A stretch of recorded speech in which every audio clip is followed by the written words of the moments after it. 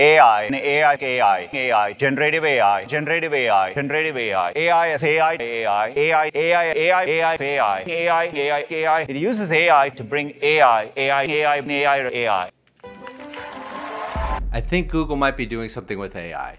Today, we're going to review all the announcements out of Google I.O. yesterday that have to do with AI, and there are a ton. Everything from Bard upgrades to AI in many products that Google already has. But before we get into the video, let me talk about two new things on this channel. Number one, I just launched a Discord server.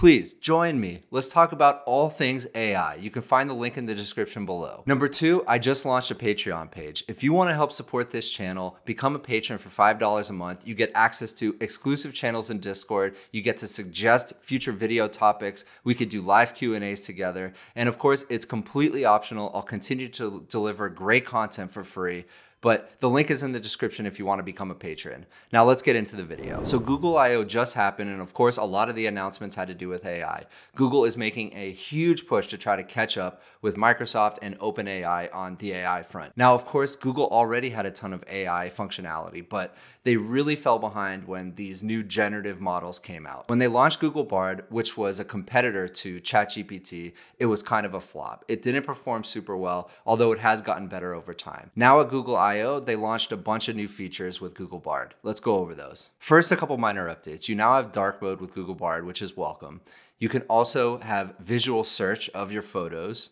It supports 20 plus programming languages, which is really nice. Although when I've tested it previously, it didn't really code very well, although that was a few weeks ago. They also launched a ChatGPT plugins competitor, so you can actually have plugins directly in Google Bard, which is really cool. And they're bringing Bard to a few other products, including Gmail, which we'll talk about now. So one of the coolest features from the announcements yesterday was that Bard is going to live in Gmail now, and you can have a help me write feature in Gmail, which you just tell it the type of email you want to write. It gathers context from your emails, from who you're typing to, and it'll write the email for you. This should save people a ton of time. I'm gonna test it out in another video, but it looks really cool so far. Next, what was a surprise announcement to me is that Google and Adobe are partnering together to bring Bard and Adobe Firefly together. Now, if you remember, I've reviewed both of these products. Adobe Firefly is essentially a Midjourney competitor by Adobe. One of the really unique features is that it's trained on all of Adobe's images, which are completely licensed legally which I don't know if Midjourney can actually claim. So now you're gonna be able to generate art directly from Bard. Next, Google announced Gemini,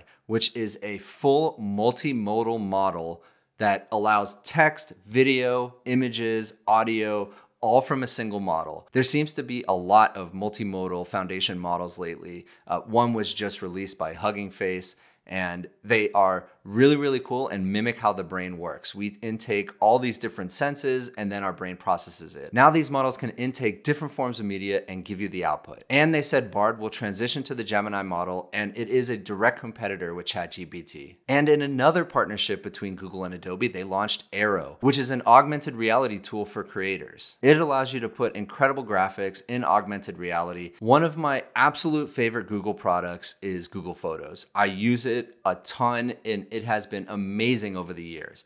And now they're launching a ton of new features that are powered by AI. Some of them include being able to change the lighting of a scene, being able to remove elements of a photo that you don't like, and also you can adjust the position of different elements in the photo. And of course, one of Google's biggest products is Google Maps. And now they have an immersive mode, which looks absolutely insane. So this is like Street View on steroids you can actually fly around the map in 3D in what looks like real time. And it knows the weather patterns, it knows the traffic patterns, and so it builds that into the actual flyover. Last, the model that has been powering many of Google's products over the years is called PaLM. And now they just unveiled PaLM 2, which is going to power all of their products eventually going forward. PaLM has multiple languages, coding ability, and is trained on 100 plus different languages. It also comes in four sizes based on parameters gecko, otter, bison, and unicorn. And they're going to be releasing this to developers to build on top of. So you can really tell Google is going all in on AI and is really allowing everybody to build on top of them now.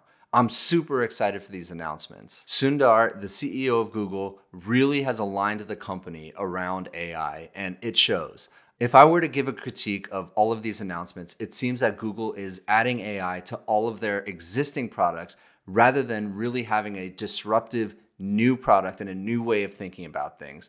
Now, their cash cow, Google Search, is a money printer that has never been seen before in the history of business. So I understand why they want to protect it and extend it rather than really coming up with something new. So those are all the announcements. Let me know what you think in the comments below. If you like this video, please give it a like and subscribe, and I'll see you in the next one.